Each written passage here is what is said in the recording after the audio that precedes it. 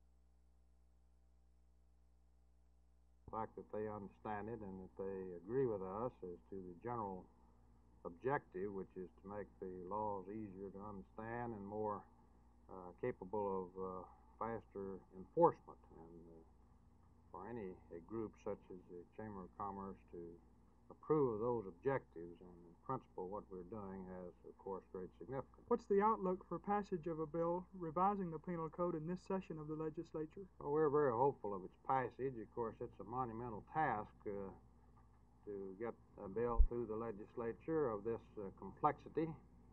Uh, the State Bar Committee was five years in revising and preparing this legislation, but we feel that uh, we have it in the hands of uh, capable people, that it will get a fair uh, presentation to the legislature and that uh, they'll consider it carefully and make any changes they think are justified and that we're, we'll get the bill passed this session.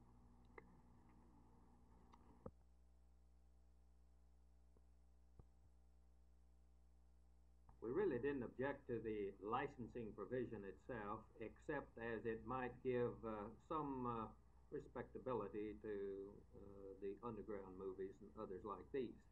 And so what we did, uh, we requested the committee that they make provision for the fact that uh, in the event they were convicted of showing obscene movies, that their license could be revoked. And that the mere fact you license them does not mean that you are putting the stamp of approval upon them.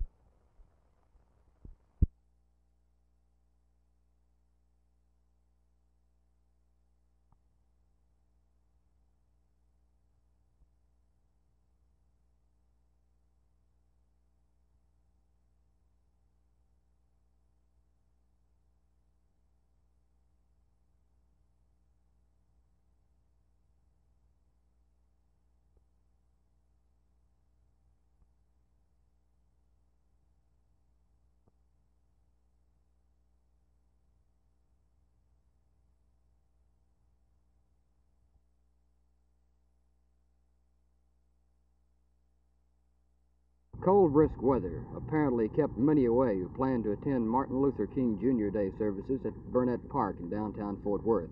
Several hundred had been forecast to attend the new memorial services for Dr. King on what would have been his 42nd birthday. However, only about 100 showed up. A proclamation declaring today Martin Luther King Day in Fort Worth, signed by Mayor Stovall, was read by Orra Compton of the Fort Worth Human Relations Commission.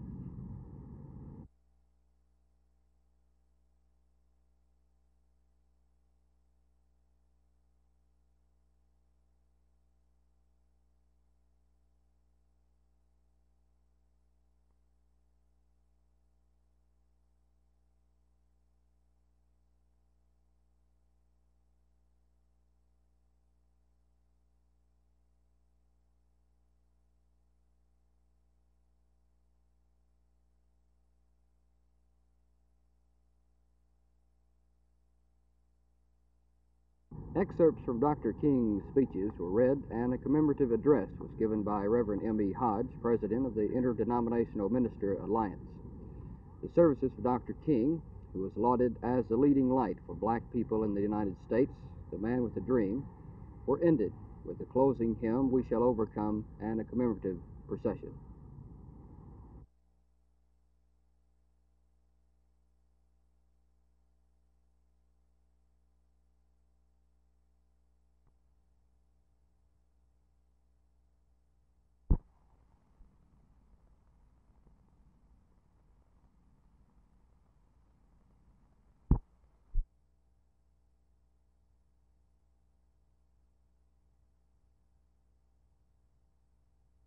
Dr. Martin Luther King Jr. Day, January 15, 1971, in Fort Worth. Jim Green, Channel 8 News on the Move at Burnett Park.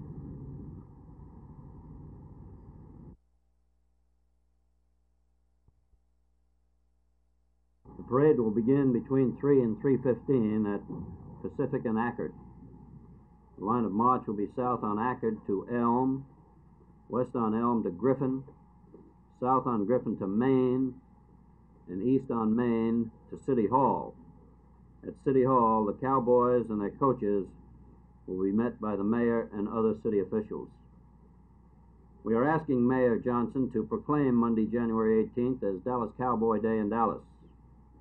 We want to show this magnificent team that we are very proud of them, win or lose next Sunday in the Super Bowl.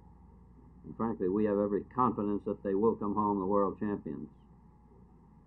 The city officials and the police have asked me to inform the public that the Cowboys will land on a remote part of Love Field and will not go to or through the terminal.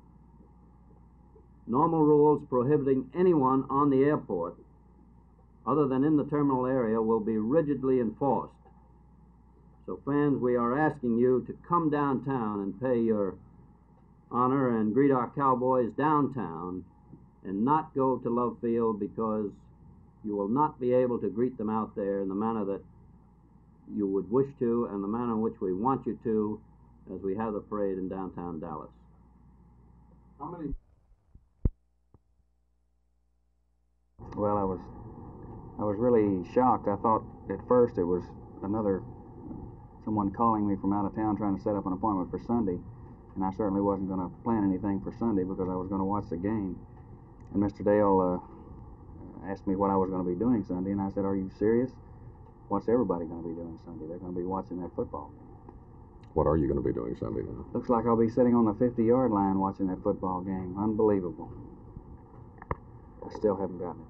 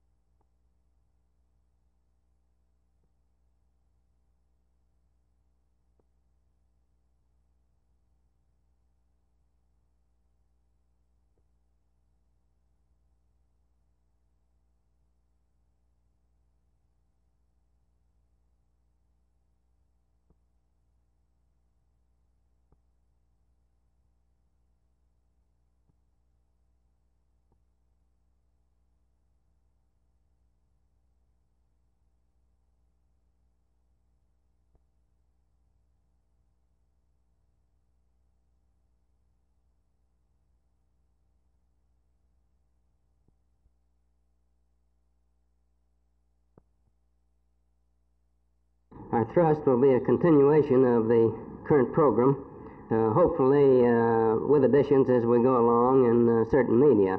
Our major efforts now are uh, the advertising nationally in uh, uh, magazines, which particularly appeal to those tourists and prospective tourists who are, who are looking for places to spend their vacation. Um, we have had a very fine growth in tourism in this state, and it's also one of the state's biggest businesses. Many people do not realize that uh, the tourism business in Texas, out of state tourists, um, in 1969 brought in a billion six hundred million dollars in revenue. And uh, uh, this has increased uh, steadily each year since, uh, particularly since the uh, state's program was launched in 1964.